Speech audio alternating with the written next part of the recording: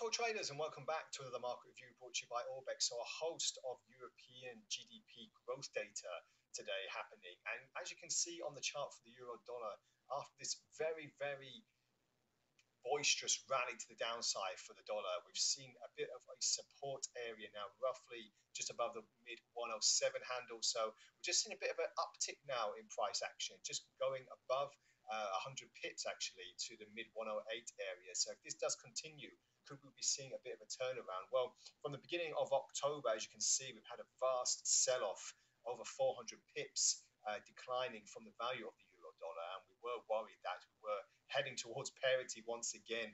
But with the recent uptick and recent firm support that we've seen, um, as I said, roughly around this area, just above the mid 107 area, uh, we're just seeing now that price action could be having more of a general uplift and the dollar could be slightly weakening. But, you know, these are all big buts because we are awaiting the non farm payroll data on Friday to see if that's going to give the American economy a boost.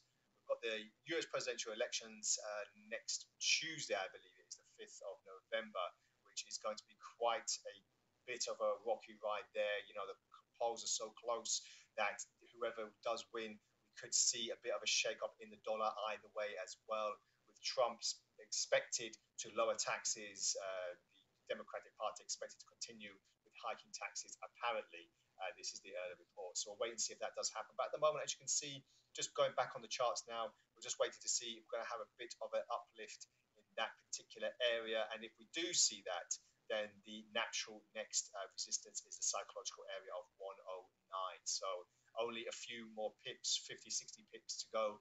Not too much uh, really in this uh, volatile market to start lifting price action quite significantly. So we'll wait and see if that does happen.